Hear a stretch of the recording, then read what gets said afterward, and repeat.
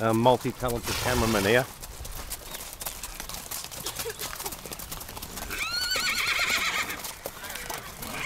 Well, here they go, 300 riders, biggest horse ride in the southern hemisphere, leaving from the beautiful town of Flowerdale.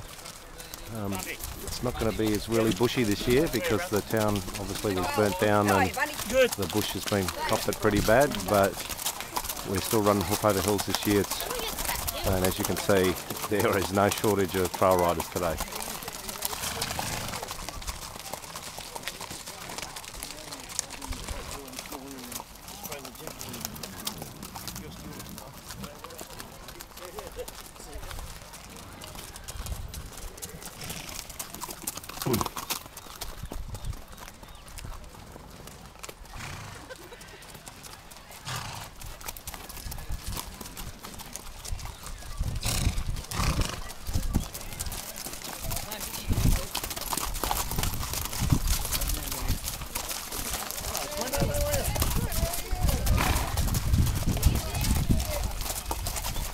Hey there. Hey, brother.